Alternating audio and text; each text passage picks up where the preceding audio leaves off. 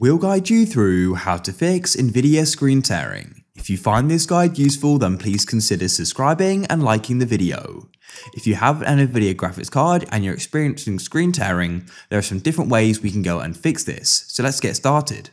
You want to come down to the bottom of your computer and click on search and go and type in NVIDIA control panel like so. Once it goes and opens up, come over to the left and select manage 3D settings. We can then select global settings and we can get started. So first of all, you want to come down to max frame rate and you want to go and set this to be the frame rate, to be the refresh rate of your monitor. So you can go and find that by searching your model and make online of your monitor. Mine's 144, so I'll type that in. If you've got a G-Sync monitor, then you can go and select that as well.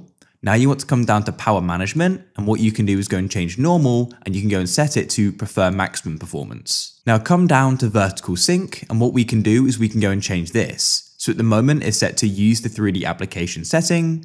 What I like to use is either on or fast. You can try using fast and if you find that doesn't do enough, then you can go and set it to on.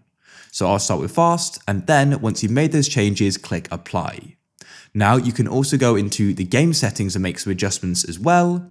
So in this case, I could come into Minecraft, that's the game I play. You can click options, video settings, and I can go and turn VSync on.